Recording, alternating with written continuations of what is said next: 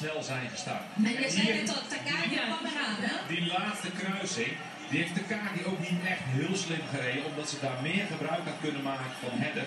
Nou was die snelheid van Hedder was er wel grotendeels uit. Maar Maar dat maakte hem, nou op een kruising is dat niet veel vanuit de Oké. slipstream hoor. Dan kun je een halve seconde goed maken. En Rutger Thijssen weet het iets eerder dan iedereen. Rutger durft iets beter te kijken. Oké, Takagi heeft het nog wel spannend gemaakt. Maar uiteindelijk, het is eigenlijk heel gek, hè? Zij wint alles. Overal waar zij aan de start staat, wint ze. Ze wint elke wedstrijd. Nou, En op de deze Spelen is het niet. denk ik ook heel bijzonder omdat ze een, eh, een heel moeilijk voortraject heeft gehad. Ja. Kijk, als je in een voortraject alles wint, dan weet je al van tevoren van ja, ik ben de beste. Natuurlijk, het moet nog wel gebeuren. Maar nu komt ze zo ver weg en dat het hier uiteindelijk allemaal samenvalt op deze dag.